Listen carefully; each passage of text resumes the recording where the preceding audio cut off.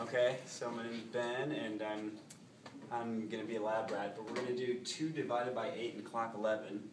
So, and we're gonna do it by the inverse. So if I guess two divided by eight in clock eleven is the same as two in clock eleven times the inverse of eight. And so to find the inverse of eight, we want to find out what yields the multiplicative inverse or one. Identity. Identity, what yields the identity. So two, or eight in clock eleven times what equals one. So what we do is we'll go off to the side.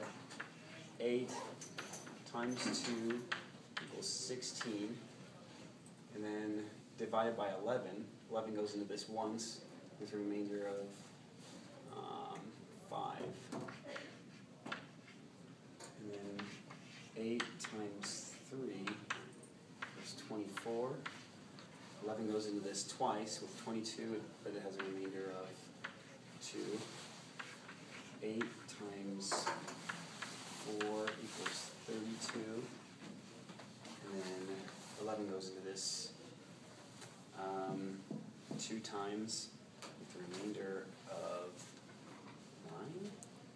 Ten? Ten? Yeah, that's right. And then eight times five equals forty. Um, it goes into this three times the remainder of seven. Is that right?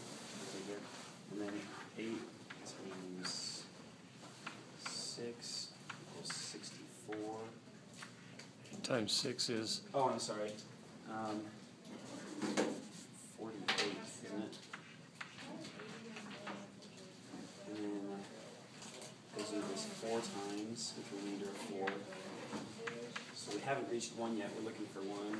Eight times seven equals fifty-four, fifty. fifty-six. Okay.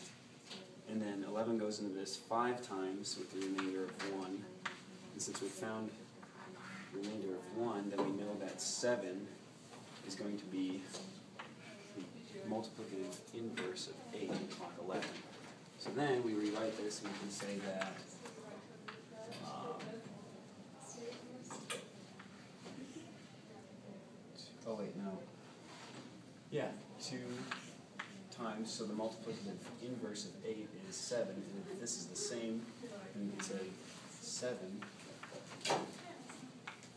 equals what?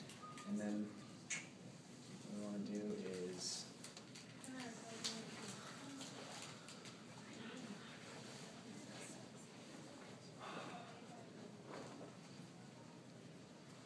Go ahead and do the multiplication now.